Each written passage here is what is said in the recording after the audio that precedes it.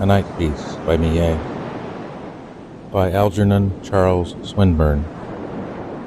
Wind and sea and cloud and cloud forsaking mirth of moonlight, where the storm leaves free heaven awhile, for all the wrath of waking wind and sea. Bright with glad mad rapture, fierce with glee, laughs the moon, borne on past clouds o'ertaking, fast, it seems, as wind or sail can flee, one blown sail beneath her, hardly making forth, wild winged for harborage yet to be, strives and leaps and pants beneath a breaking wind and sea.